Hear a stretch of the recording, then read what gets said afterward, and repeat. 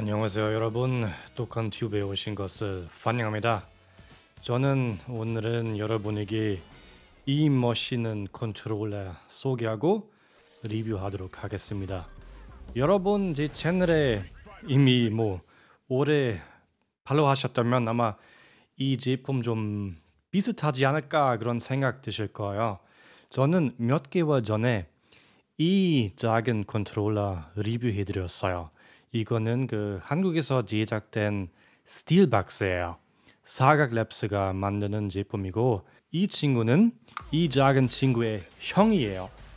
뭐 형이라는 것이 뭐 형이라고 부르는 것이 좀 이상하지만 예, 그렇게 생각하시면 돼요. 사각랩스는 요즘 이 컨트롤러에 대한 킥스타터 캠페인 하는 중이에요. 그래서 여러분 만약에 이 컨트롤러에 관심 있으시면 제 영상 밑에 이 킥스타터 캠페인 링크를 놓았어요. 근데 우리 일단 이 컨트롤러 한번 자세히 확인해 봅시다. 일단 제가 여기 트레이닝 모드에서 이 컨트롤러로 멋있는 콤보 할 수 있는지 확인해 볼게요. 네, 잘 돼요. 지금 이미 보시다시피 아, 이 컨트롤러는 double tap도 엄청 잘 돼요. 여러분 만약에 제가 옛날에 업로드 해주었던 그 스틸박스 리뷰 못 보셨다면 저는 한번 간단하게 이 제품에 대한 핵심 정보를 알려드리고 싶습니다. 케이스는 강철로 만드는 케이스예요. 그래서 진짜 튼튼하고 무거워요. 무게는 한 3.5kg이어서 이 친구는 뭐 테이블에서도 무릎에서도 쓰면 진짜 안정해요. 이 친구는 움직이진 않아요. 그리고 그 옛날 스틸박스로 비교해 보니 케이스도 훨씬 더 커요. 길이는 한 300mm이고 넓이는 한 200mm예요. 그리고 보시다시피 좀 더 두꺼워요. 여러분들이 호환성이 궁금하실 거예요. 이 컨트롤러는 GP2040 펌웨어 쓰고 있으니까 PC, PS3, 닌텐도 스위치가 호환되어요. 여러분 만약에 이 컨트롤러는 아, PS4, PS5 아니면 엑스박스로 사용하고 싶으면 passthrough device 필요해요. 하지만 케이스 안에 비밀 하나 숨어 있어요. 여기 1번 위치에는 Brook Universal Fighting Board 추가할 수도 있고 2번에는 그 Brook PS5 보드 추가할 수도 있고 그리고 세 번째 그 위치에는 그 그런 passthrough device 그 Brook 어댑터 같은 거 추가할 수 있어요. 이 세 옵션 중 하나 선택하고 추가한 다음에 이 컨트롤러를 PS5, PS4, 엑스박스에서도 사용할 수 있어요. 우리 한번 버튼에 대해서 자세히 얘기해 봅시다. 여러분 아마도 이 두 버튼 어떤 버튼인지 궁금하실 거예요. 이거는 start와 select 버튼 아니에요. 하긴 여기 아무 키 마음대로 음, 할당할 수 있긴 해요. 하지만 이 버튼에 대한 특별한 아이디어가 있었어요. 여러분 만약에 이런 Battle Hub에서 시간을 많이 보내시면 문제가 하나 있는 것을 아시겠죠? 카메라 컨트롤 못해요. 하지만 어, 컨트롤의 right stick 왼쪽과 오른쪽 이 버튼에 할당되어 있어서 지금은 이런 Battle Hub에서도 카메라 제어할 수 있어요. 그래서 여러분 이런 Battle Hub에서 시간을 많이 보내시면 지금 그 시간 훨씬 더 편해져요. 마우스가 필요 없으니까요. 스틸박스 프로에서 찾을 수 있는 스위치는 체리 MX 스피드 실버입니다. 하지만 좋은 점은 이 보드는 hot swap 가능한 보드예요.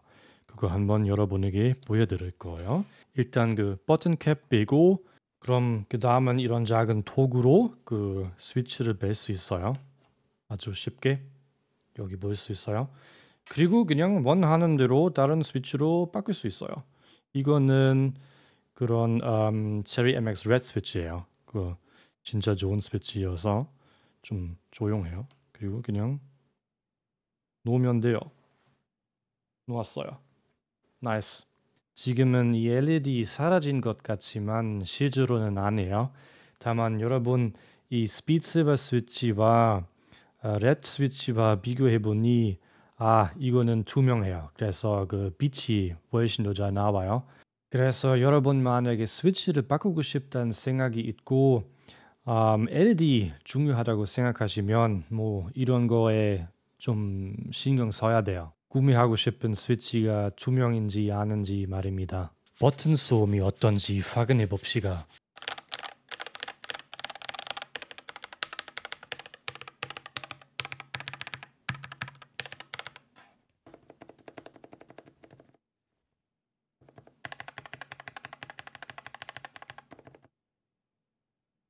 소리가 더 작아서 Silver Speed 스위치보다는 이 어, Cherry MX Red 스위치가 더 마음에 들어요. 여러분 어떻게 생각하세요? 한번 댓글에 알려주세요.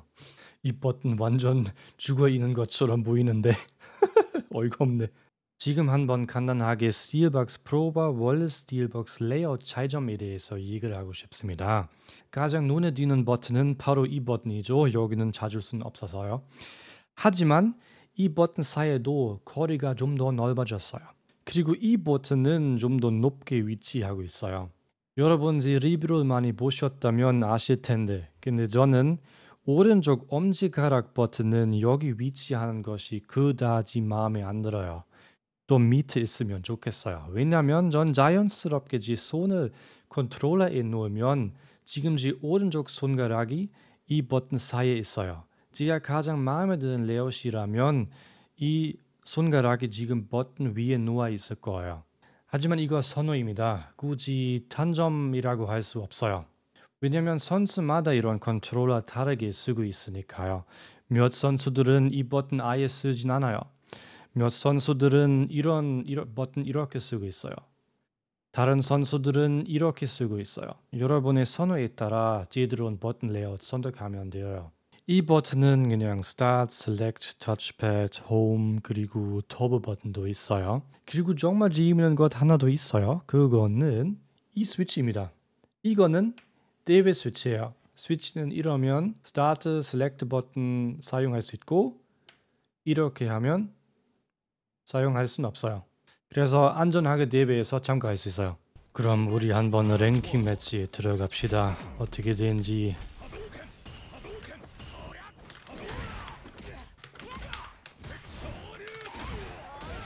나이스.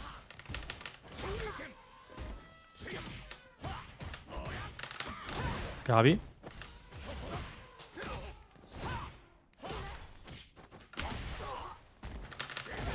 나이스. 아 디알 잘되네. 아 너무 예쁘다 오 잘됐다 잘됐다 어, 이 컨트롤 좋은데요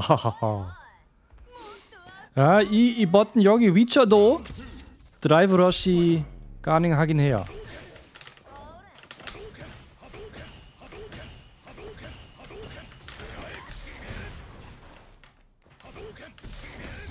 하하 또 할 수 있을까?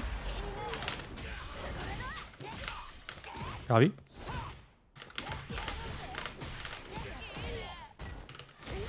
아쉽다. 저도 할 수 있어? 아? 아, 까비. 우리 이길 수 있어요. 우리 이길 수 있어요. 얘는 7연승이는데 우리 이길 수 있어요.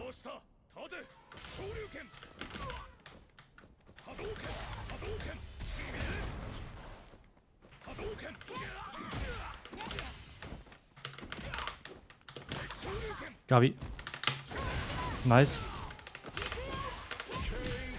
이겼습니다. 결론적으로 말하자면 전 이 제품 진짜 마음 들고 여러분에게 추천드리고 싶습니다. 꼭 한번 영상 밑에 놓아줬던 그 링크를 확인해 보세요. 거기는 이 컨트롤러에 대한 더 많은 정보를 찾을 수 있어요.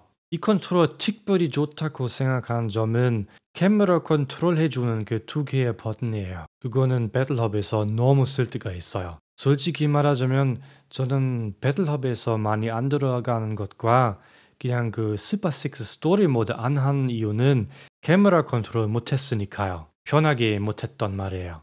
근데 지금은 이 제품으로 진짜 편하게 할 수 있어요. 그래서 여러분 한국에서 제작되는 hitbox를 후원하고 싶으면 꼭 그 Kickstarter를 확인해 보세요. 그리고 구독과 좋아요 부탁드립니다. 다음에 봐요. 바이바이.